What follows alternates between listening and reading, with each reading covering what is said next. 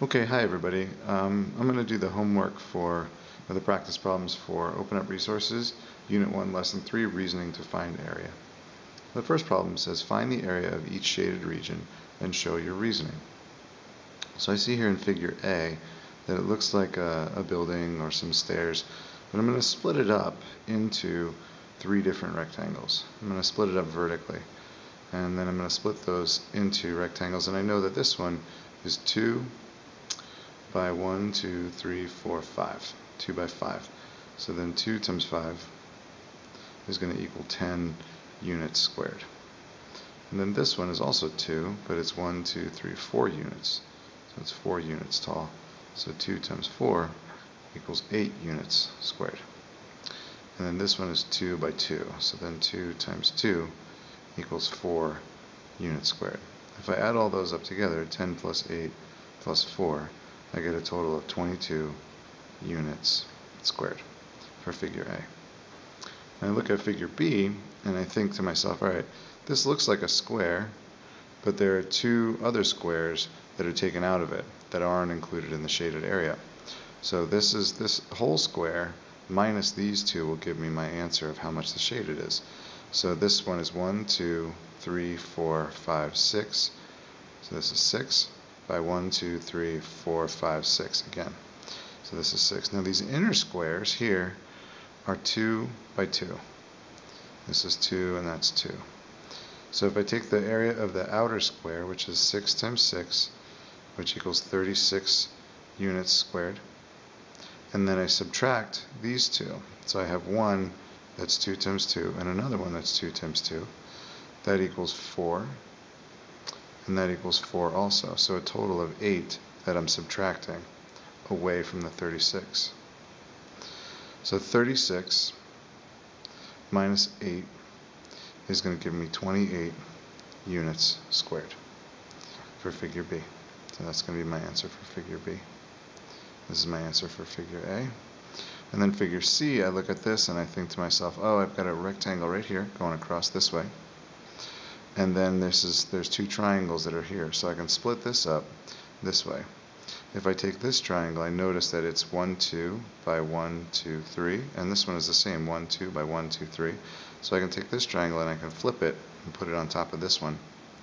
So that that way this now becomes another rectangle. So I have this rectangle and this rectangle here to find my area.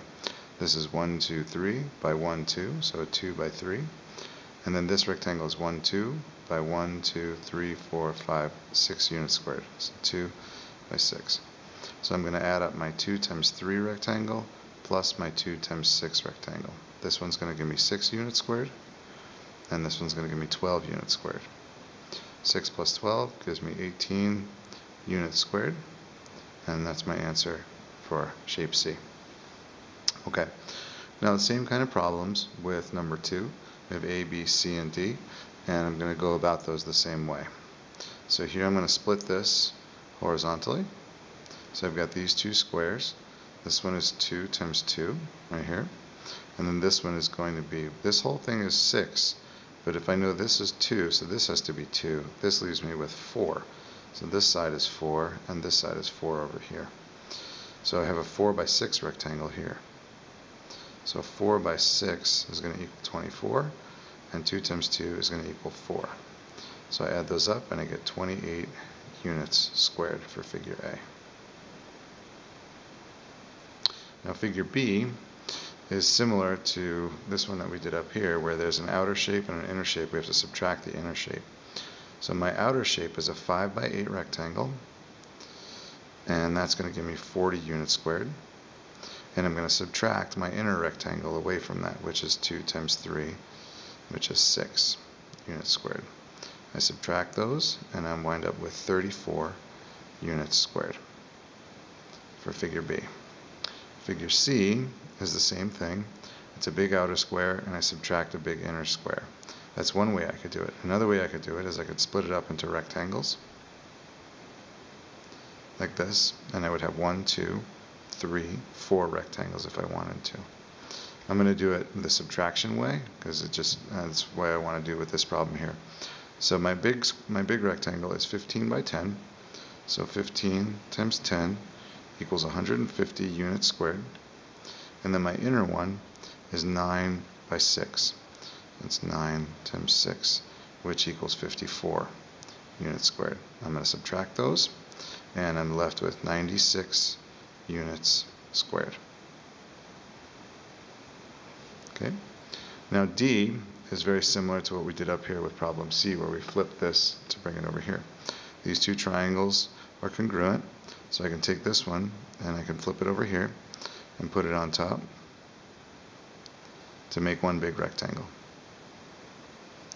That's 5 by 8 centimeters. Oh, and I just realized that in problem 2, these measurements are centimeters. They're not units. So this one should be centimeters squared. This one should also be centimeters squared. And then C is centimeters squared. And then D will be centimeters squared also. Okay, learning opportunity. All right, so 5 times 8 is going to equal 40. And then since that's a rectangle, it's centimeters squared, or square centimeters. Both of those are the same. Okay, moving on to page 2. Two plots of land have very different shapes. Noah said that both plots of land have the same area. Do you agree with Noah and explain your reasoning? In these problems, just want to remind you that explaining your reasoning is probably the most important thing that you can do. It's going to help you understand it, and you're going to learn the math better, understand the concepts. We have plot A and plot B, and we can look and see that they line up. we can assume they're drawn to scale so that they line up here and here. So the rectangles have the same width, um, excuse me, the same length, and they also have the same width when we look at them this way. But plot B has this triangle that has been put over there on this side, on the left side. If we were to take this triangle and bring it over here, we could say that it's the same size as this. In the lesson today, some of you uh, cut out the square, or you slid it over this way, or you traced it, and you said, or you measured it, and said that it was the same. In this case, it's the same. The triangle is the same size as what's missing here. So we wind up with two rectangles that are the same. Once we take this triangle and translate it over here, it fills in this gap. So what I would say is yes, because the triangle in figure B is the same size. I can slide it over to fill in the missing part. And that's going to convince me that the areas are going to be the same for both of them. All right, now number four has five parts, A, B, C, D, and E. A homeowner is deciding on the size of tiles to use to fully tile a rectangular wall in her bathroom that is 80 inches by 40 inches. The tiles are squares and come in three side lengths, 8 inches, 4 inches, and 2 inches. State if you agree with each statement about the tiles and explain your reasoning. Okay, so there's a bunch of information here that's important. The wall is 80 inches by 40 inches, and then the tiles come in three side lengths, 8 inches, 4 inches, and 2 inches. So we need to keep that in mind. Okay. Now, first for A, regardless of the size she chooses, she will need the same number of tiles. Agree or disagree. Well, down here, I'm going to write A. I disagree with that. And the reason why is that each tile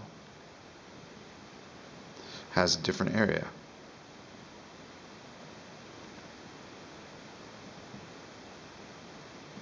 She'll need more more of the smaller tiles.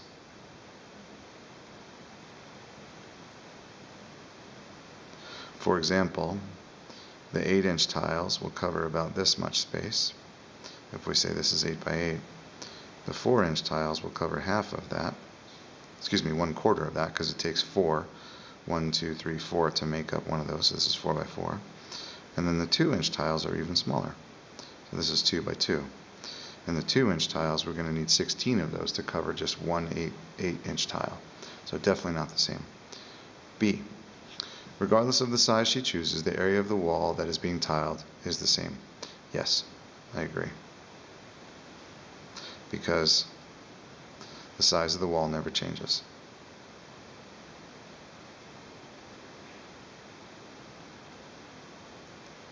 Never changes. So the area stays the same. Or the area to be tiled stays the same. Okay, so C says she'll need two 2-inch tiles to cover the same area as one 4-inch tile. I disagree with that because if this is a 4 by 4 tile, we split it up into 2-inch tiles, she'll need one, two, three, four tiles to cover the same amount of space. So I disagree here. Now D says she will need four 4-inch tiles to cover the same area as one 8-inch tile. I agree with that because of our previous statement. Um, this will work because of the previous picture. I can draw another one here to say that with an 8 inch tile, 8 by 8, I can split it up into a 4 inch tile, 1, 2, 3, 4. So I need 1, 2, 3, 4 4 inch tiles, split those in half to get that. And lastly for E, it says if she chooses the 8 inch tiles, she will need a quarter as many tiles as she would with 2 inch tiles. Well, if I look at the 8 inch tiles, and draw a picture here of the 8s and 8, and this is 8. Now I can split that into 4, so I need 1, 2, 3, 4 times as many for that, and then I split it up again into 2's, and this is 1, 2, 3, 4 by 1, 2, 3, 4. So there's 16 2-inch tiles here to cover the same amount of space as one 8-inch tile. So she will, will need a quarter? No, that's 4 times less. And here it's 16 times less. So I disagree. She'll need 16 times more 2 inch tiles. Okay, there you go. I hope that was helpful. Again, that was Open Up Resources, Grade 6 Mathematics, Unit 1, Lesson 3, Reasoning to Find Area, the answers to the practice problems. All right, have fun, keep learning, keep making mistakes.